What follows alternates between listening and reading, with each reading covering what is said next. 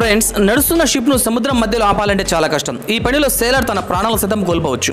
అందువల్లనే ఈ పనిని అందరికంటే ఎక్స్పీరియన్స్ ఉన్న వ్యక్తితోనే చేయిస్తారు. ఎందుకంటే ఏ యాంకర్ అయితే నీటిలో వదులుతారో అది మరియు దానితో కనెక్ట్ అయిన చైన్ కొన్ని లక్షల కిలోల వరకు ఉంటుంది. అది చాలా స్పీడ్తో కిందకు వెళ్తుంది. కానీ అక్కడ ఒక చిన్న తప్పు జరిగిన ఆ చైన్ వాటితో పాటు అతన్ని కూడా కిందకు తీసుకొని వెళ్తాయి.